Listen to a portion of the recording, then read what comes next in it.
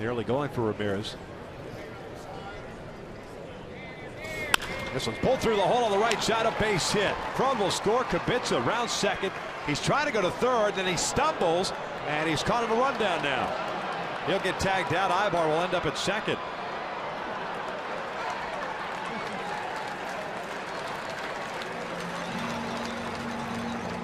Two down. 2-1 Rays.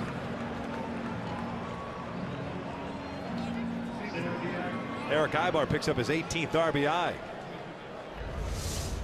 And Erick once again coming through with a big base hit. That fastball right down the heart of the plate at 91. Souza Jr. with a good throwing arm, but Kubitza thought about challenging that arm, then stops. Fortunate enough, Erick Aybar got to second base. The tag is applied to Kubitza. But certainly